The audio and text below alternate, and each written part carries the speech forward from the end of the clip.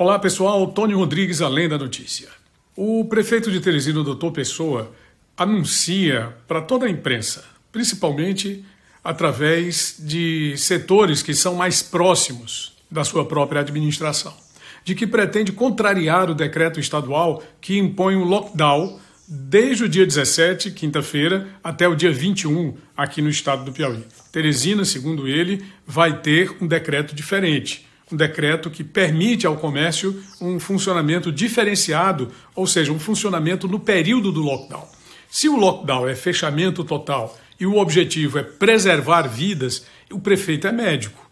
Como é que ele vai permitir ou autorizar que o comércio funcione, mesmo sabendo que isso pode complicar o processo de retomada da circulação das pessoas no ambiente social, no ambiente comum da coletividade. É realmente uma medida muito arriscada, mas não deixa de ser também uma jogada política muito conhecida e que no próprio governo atual do município de Teresina já foi utilizada em momento anterior. Só que o Supremo Tribunal Federal reconhece que ao Estado compete tomar decisões no ambiente do Estado, ou seja, Dentro desse território do Piauí, é o governo, é o executivo estadual que deve definir as regras. Os municípios têm apenas que cumprir. Em uma oportunidade anterior, o prefeito tentou amenizar o decreto do governador. Só que o Tribunal de Justiça derrubou a providência do doutor Pessoa.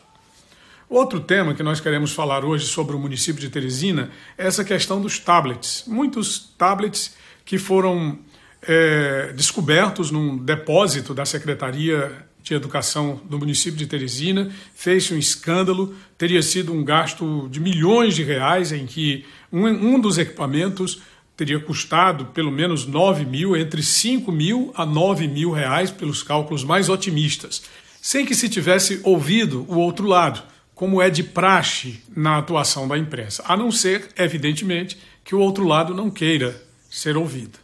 Mas o fato é que o ex-secretário Kleber Montezuma divulgou uma nota em que afirma duas coisas apenas. Os tablets custaram, na verdade, 980 reais em média, cada um deles.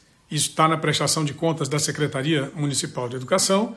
E eles tinham que ficar mesmo nas escolas, porque o uso era exclusivo em sala de aula. E apenas porque houve a pandemia e as aulas físicas foram suspensas, as aulas presenciais, então todos esses equipamentos foram levados para a Secretaria Municipal de Educação. Como se vê, o secretário Nouga Cardoso também embarca na onda de tentar produzir escândalos desnecessários, ao invés de trabalhar pelo desenvolvimento da educação e pela autonomia financeira e orçamentária da sua própria pasta.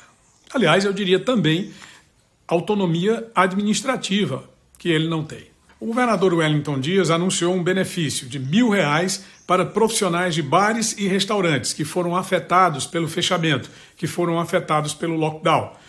Ele também diz que esses benefícios serão atribuídos aos proprietários desses estabelecimentos.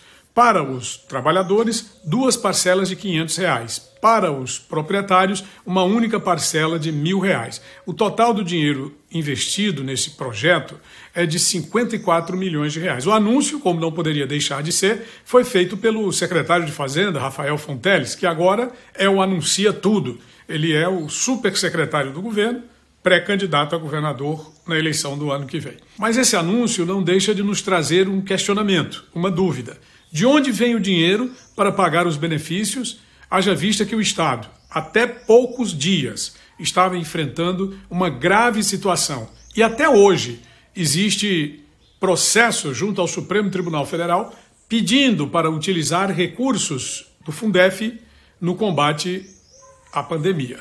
Realmente é uma dúvida insistente. De onde vem o dinheiro? E para onde vai o dinheiro? é? porque agora o Ministério Público quer saber onde os governadores, e o governador aqui do Piauí também, é, incluído entre eles, colocou ou colocaram os recursos de construir os hospitais de campanha, de comprar os equipamentos de proteção individual. O próximo passo do Supremo Tribunal Federal é acabar com as investigações em andamento pela Justiça Federal, Ministério Público Federal, Polícia Federal, Controladoria Geral da República. Como se vê, não tem nenhum juiz Sérgio Moro aqui conduzindo a Operação Topic, mas o governador também chama a operação de suspeita e ainda não falou contra o juiz Agliberto. Mas essa é apenas uma questão de tempo. No momento em que sair a primeira condenação, vários dos seus superassessores também estão sendo investigados e podem a qualquer momento ser sentenciados. A partir do momento em que sair a sentença, é que a gente vai saber se os juízes federais daqui do Piauí também são juízes a lá Sérgio Moro, porque na verdade não é que o Sérgio Moro tenha feito algo de excepcional em condenar ladrões, principalmente o Lula. O problema é porque não se pode condenar ladrões do PT. E logo em seguida nós temos uma etapa lamentável na história da República. O Supremo Tribunal Federal sendo utilizado não para inocentar, mas para cancelar investigações ou para derrubar anos de investigações, simplesmente anulando sentenças e colocando o país numa instabilidade jurídica sem precedentes. Bom, pessoal, era isso. Grande abraço a todos, muito obrigado. Deixe seu gostei, se inscreve no canal, ative as notificações e compartilhe. Tony Rodrigues, além da notícia.